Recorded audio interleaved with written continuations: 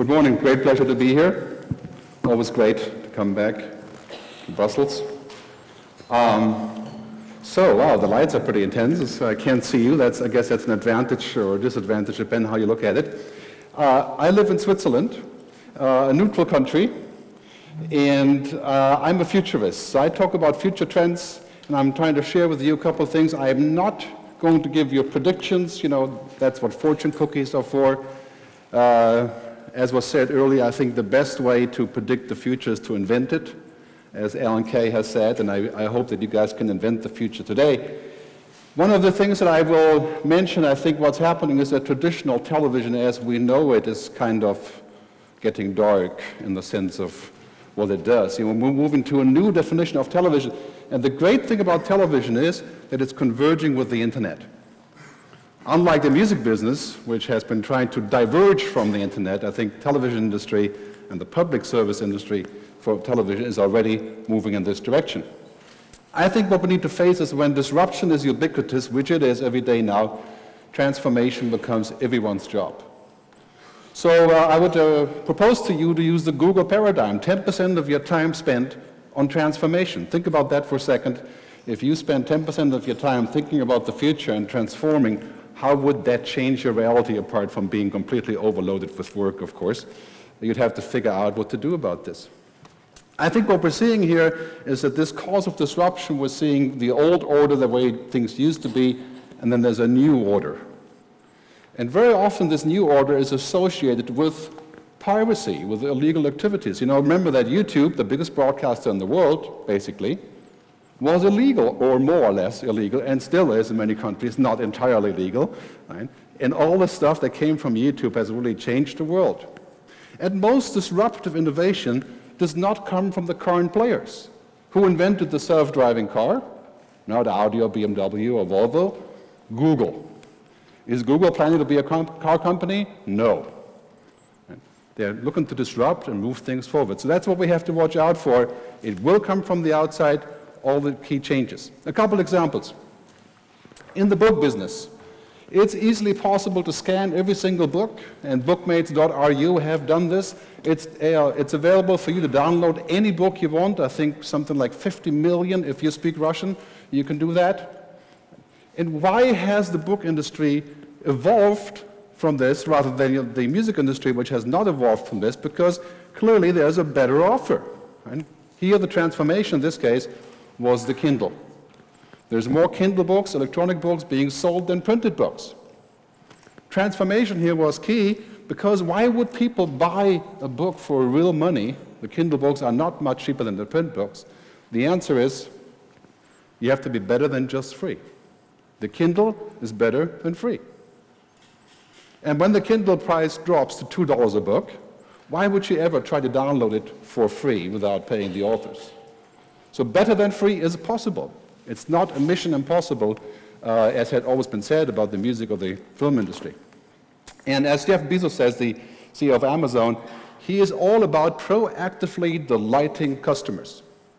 This could be a first thing on your table this morning. How can you proactively delight your viewers? Use the Amazon paradigm. That's all he cares about, the innovation that comes from this. Now, television. Google Research says the television no longer commands a full attention. People are doing other things, and the stats show that, for example, people are more and more fragmented, so less and less people watching the same show worldwide. That's kind of true, I think. So transformation is to use that social medium along with television. As I'm sure you talked about in the last few days, social TV, you've seen the Gracenote app, I think, already, and the fact that people are using second screen devices. This is a lifesaver for television, clearly converge those two things. So learning from this is follow the convergence. Media is converging, offline, online is converging, industries are converging, follow the convergence. Third point, telecom. You've seen this chart here maybe? OTT is called over the top. People are using mobile broadband to make phone calls on Viber and WhatsApp. Many of you, I'm sure, have this. So what is happening? The telcos are providing internet connectivity, and in return, we stop using them. We stop using SMS. This is a cash cow of $375 million every single day worldwide, and we're going to stop using it. So what are the telcos doing about this? They're bundling it. Telia is bundling music, uh, Spotify in this, in this uh, case. Reliance in India is bundling that, those kind of services into the bundle, and Telkom Indonesia, one of my clients, is uh, going out to empower the customer. They're going with what is inevitable anyway. So learning from this is we have to leave the silos behind. Telcos are no longer in the business of providing phone calls or data. They're in the business of lifestyle. They're a platform providing services and added values. Think of yourself in the same way. You're not a broadcaster, not just a broadcaster. You're providing a lot more than that, and there's a lot more to it. The cable industry. We've seen disruption there. You see on this chart in America, is the cable industry is selling less and less of TV bundles, you know, cable television bundles, and more and more internet access. So lucky for them, they're actually in both businesses. You know, they have television programs and internet access, and transforming essentially by creating bundles.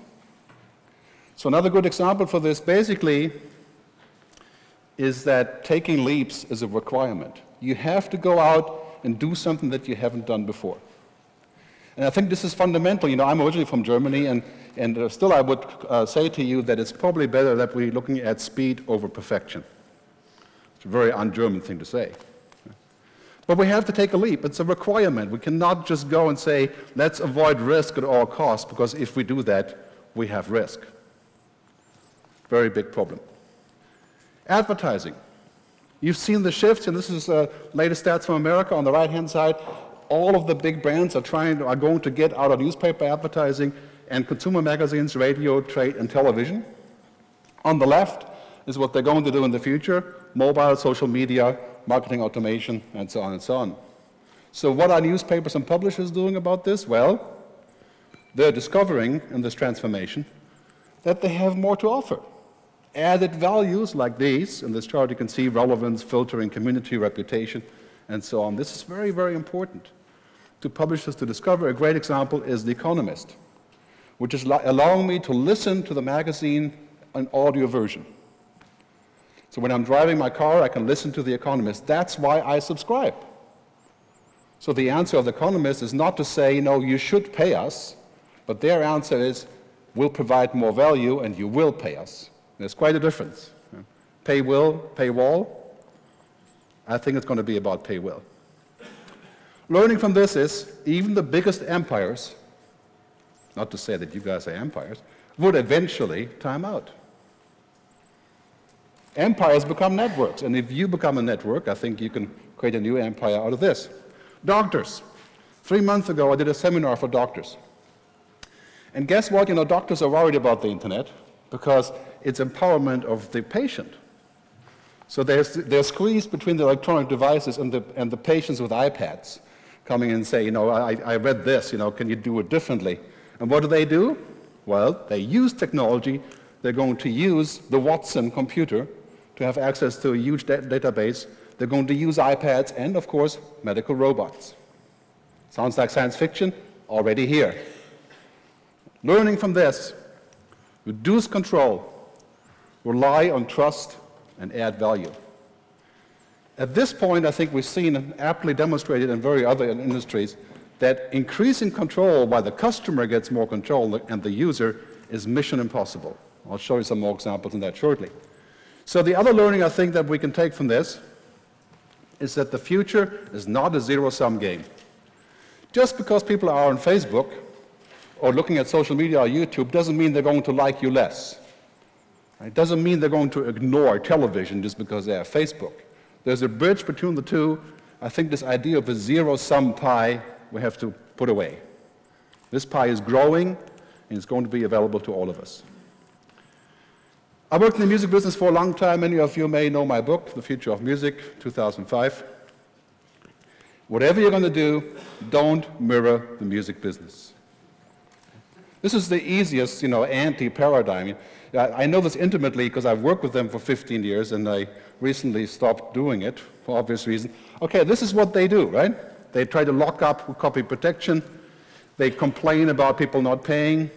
They try to pass legislation to protect their business model. They're talking about piracy.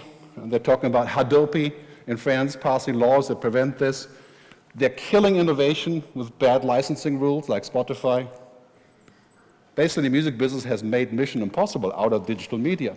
What they should do is accept that everything is moving into the cloud and that people are using cloud computing, change usage rights, come up with standards for this, become indispensable, and be liked. Did you know that last year, two years ago, the music companies were the most hated companies in the world right after the guys that make the bombs for Iraq, Halliburton? That's quite an achievement for an industry. So whatever you do, don't do that. Okay? Because in the end, it's all about this. As a public broadcaster, as a public media, it's about trust and relevance and what is called likeonomics. It's a great book with that title you should read. It's about being liked and being relevant. It's the same thing. People that don't like you won't find you relevant. I love Arte. Anybody from Arte here? Arte, the television? Okay, yes. I love Arte, and I love that. And this is why I'm happy to pay my taxes because I like them and I see the value. So trust, social capital, and I think the license to operate in the future will not be the political license to get your public broadcasting funds. It'll be purely based on a license to operate, a social license to operate. If you see, for example, on the left, the music business, recorded music declining, half of the American kids saying they spend zero dollars on music. How is that possible when you see transformation like this? Netflix, you guys know Netflix, I'm sure. 42 million subscribers paying $10. What in the world is wrong with the music people? If 42 million people are paying $10, what's wrong with these guys? Transformation. So learning from this is embrace what customers, consumers, users, viewers actually want. And don't re-educate 3 billion people on their media behavior. Embrace what they actually want. It's not rocket science. Ask your kids, they know. The app economy. So, all of you guys have mobile phones. You see what's happening here? Is that the mobile app economy is exploding. More and more people using mobile apps. And over here, app stores are exploding. Apple makes more money selling apps than selling music. Why in the world are we paying $2 for a divorce app or something, which exists actually, there's a hundred of them, uh, if we're not going to pay a dollar for music, right? because we see value. The app economy offers some great learnings. So I want to finalize and say, yes, I think it is possible for public broadcasters to transform into the digital age by using this very simple paradigm to start a new order in parallel to the old order. Thanks very much for your time. You can download my slides at futuristgerd.com or my Dropbox site, which is gerdcloud.com. Thanks very much.